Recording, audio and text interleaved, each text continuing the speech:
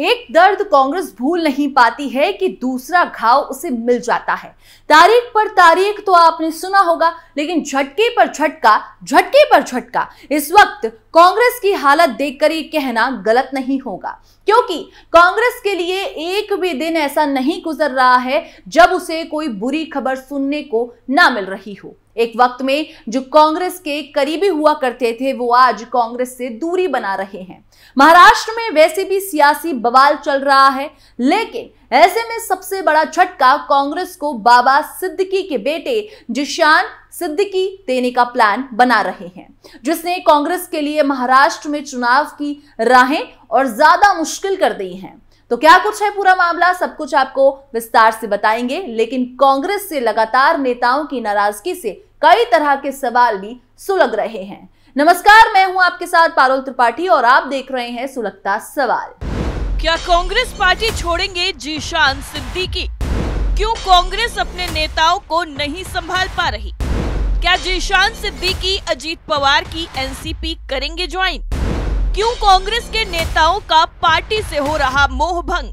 महाराष्ट्र कांग्रेस में चल रही सियासी उथल पुथल के बीच एक और झटका कांग्रेस को लगने वाला है, क्योंकि महाराष्ट्र की राजनीति में अपनी धाक रखने वाला बाबा सिद्दीकी के बेटे जुशान सिद्दीकी भी अब किसी भी वक्त कांग्रेस पार्टी को छोड़कर अजीत पवार के खेमे वाली एनसीपी में शामिल हो सकते हैं। जी हाँ ये खबर आने के बाद महाराष्ट्र की सियासत में ज़बरदस्त बवाल मचा हुआ है। तो चलिए, बिना देरी किए हुए पूरी कहानी आपको बताते हैं।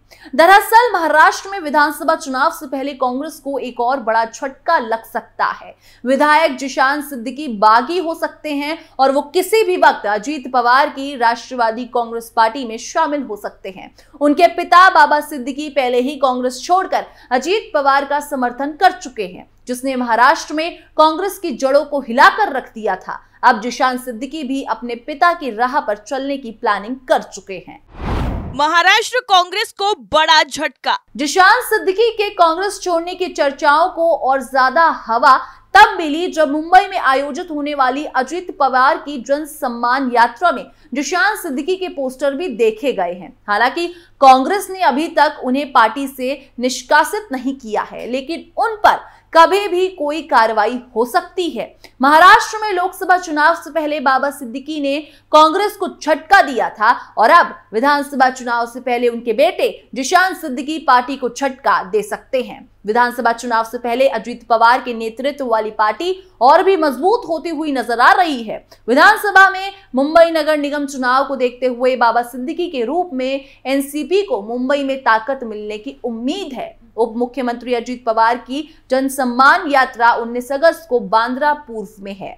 उम्मीद की जा रही है कि जिशान इस समय अजीत दादा के नेतृत्व वाली एनसीपी में शामिल होंगे। मीडिया रिपोर्ट के मुताबिक, हाल ही में हुए विधान परिषद चुनाव में कांग्रेस के साथ विधायकों ने क्रॉस वोटिंग की थी। गुप्त मतदान के कारण विधायकों के नाम सामने नहीं आए, लेकिन बताया जा रहा है कि कांग्रेस ने आंतरिक जाँच के ज़रिए सात लोगों की पहचान की है। इसमें जिशान सिद्दीकी का नाम भी शामिल है। बाबा सिद्दीकी ने भी छोड़ी थी कांग्रेस। महाराष्ट्र के पूर्व मंत्री बाबा सिद्दीकी ने फरवरी में ही कांग्रेस पार्टी से इस्तीफा दे दिया था। करीब 48 साल तक कांग्रेस का सदस्य रहने के बाद अब उन्होंने पार्टी छोड़ दी। उनके इस फैसले ने सबको चौंका दिया। इस्तीफा देने के बाद उन्होंने कहा कि ऐसा बहुत कुछ है जिसे वो व्यक्त करना चाहेंगे। लेकिन जैसा कि कहा जाता है कि कुछ चीज़ें अनकहीं ही रह जाएँ तो बेहतर है। सोशल मीडिया साइट एक्स पर एक पोस्ट में पूर्व राज्य मंत्री सिद्दीकी ने कहा कि मैं एक युवा किशोर के रूप में भारतीय राष्ट्रीय कांग्रेस पार्टी में शामिल हुआ था और ये 48 वर्षों तक चलने वाली एक महत्वपूर्ण यात्रा रही।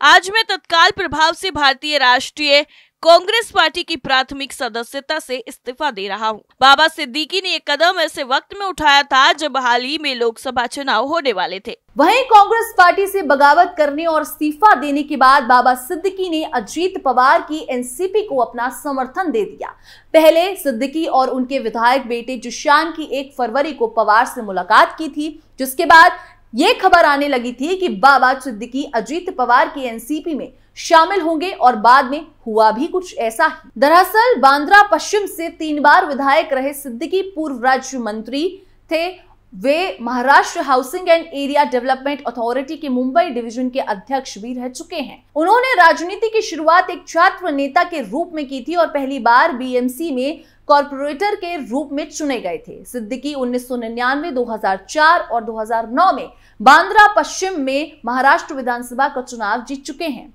हालाँकि 2014 के विधानसभा चुनाव में उन्हें मुंबई बीजेपी अध्यक्ष आशीष सेलार के सामने हार का सामना करना पड़ा था। लेकिन महाराष्ट्र में बाबा सिद्दीकी का क्या जलवा है वो आप इसी बात से समझ सकते हैं कि बाबा सिद्दीकी की इफ्तार पार्टी में पूरा बॉलीवुड आता है।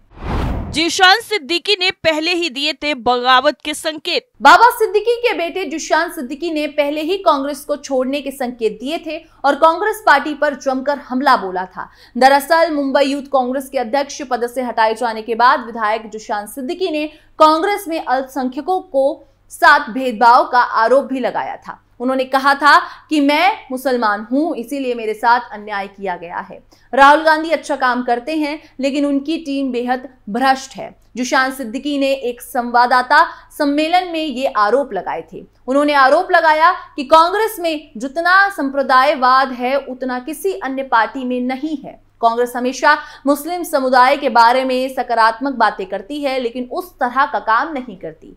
जिशान सिद्दीकी ने कहा कि मुंबई यूथ कांग्रेस के अध्यक्ष पद से हटाए जाने के बारे में उन्हें अब तक कोई अधिकृत पत्र, फ़ोन, सूचना या ईमेल नहीं मिला है। जो कुछ जानकारी मिली है, वो सोशल मीडिया के माध्यम से और पत्रकारों से मिली है। उन्होंने कहा कि यूथ कांग्रेस के अध्यक्ष पद के चुनाव में सबसे ज़्यादा मतों से जीतने वाले व्यक्ति के साथ ये सरासर अन्याय है। सिर्फ़ वोट चाहती है कांग्रेस। जिशान ने आरोप लगाया कि कांग्रेस मुस्लिम समुदाय के वोट चाहती है, लेकिन कांग्रेस उन्हें सुरक्षित नहीं कर सकती। हमेशा सौतेला व्यवहार करती है। मुंबई कांग्रेस की लिस्ट निकाल कर देखिए, कितने वरिष्ठ नेता मुस्लिम हैं। मुंबई यूथ कांग्रेस का अध्यक्ष चुने जाने के बाद मुझसे कहा गया कि टीम में ज़्यादा मुसलमानों को शामिल ना किया जाए।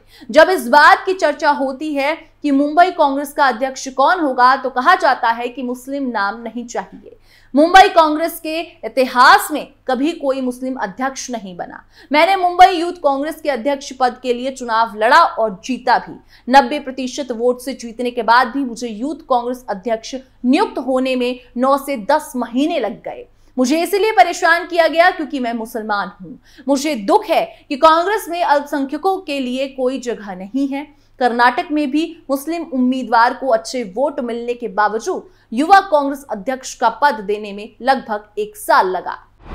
मुझ पर अविश्वास किया। जिशान सिद्दीकी ने प्रेस कॉन्फ्रेंस में कहा कि जो मेरे पिता बाबा सिद्दीकी ने एनसीपी अजीत पवार के साथ जाने का फैसला किया उसी वक्त मैंने ये साफ़ कर दिया था कि मैं कांग्रेस में ही रहूँगा। ये बात मैंने एक बार नहीं बार बार कही थी। बावजूद इसके, मेरे खिलाफ मुंबई यूथ कांग्रेस के अध्यक्ष पद से हटाने की कार्रवाई की गई। सिद्दीकी ने कहा कि मेरे खिलाफ की गई इस एक तरफा कार्रवाई के बाद मैं अब ये नहीं कह सकता कि मैं कांग्रेस में ही रहूँगा। मैं अपने कार्यकर्ताओं और समर्थकों के साथ चर्चा करके अपने लिए नए राजनीतिक विकल्प ढूंढ लूँगा। अगर कांग्रेस को अल्पसंख्यकों की कद्र नहीं है तो हमें भी अपने अन्य विकल्प तलाशने होंगे। कांग्रेस को हम जैसे लोगों की वैल्यू नहीं जीशान सिद्दीकी विधायक जिशान ने कहा कि मुझे करीब नब्बे हज़ार वोट मिला था। उसके बाद मुझे मुंबई यूथ कांग्रेस का अध्यक्ष बनाया गया था। अगर इतना सब कुछ करने के बाद भी कांग्रेस को हम जैसे लोगों की वैल्यू नहीं है तो ये दुर्भाग्यपूर्ण है। कांग्रेस पार्टी हमेशा कहती है कि हम हमेशा मुस्लिम समाज के साथ हैं माइनॉरिटीज के साथ थे। लेकिन जितना कम्युनिज्म कांग्रेस पार्टी के अंदर है, उतना कहीं नहीं है। अभी तक मुंबई कांग्रेस का अध्यक्ष मुस्लिम को क्यों नहीं बनाया गया? अगर कांग्रेस पार्टी को मुस्लिम से इतना प्रॉब्लम है तो फिर ढोंग क्यों रचा जा रहा है? कांग्रेस को अपना ढोंग बंद कर देना चाहिए। यानी कांग्रेस पहले से ही महाराष्ट्र में सीट शेयरिंग और सीएम फेस को लेकर संघर्ष कर रही है। ऐसे में अगर जिशान सिद्दीकी भी कांग्रेस को छोड़ देते हैं तो अजीत पवार के लिए सोने पर सुहागा हो जाएगा और कांग्रेस पार्टी को 440 वोल्ट का झटका लग जाएगा। सुलगता सवाल में फ़िलहाल के लिए इतना ही। बाकी खबरों के लिए आप देखते रहिए कैपिटल टीवी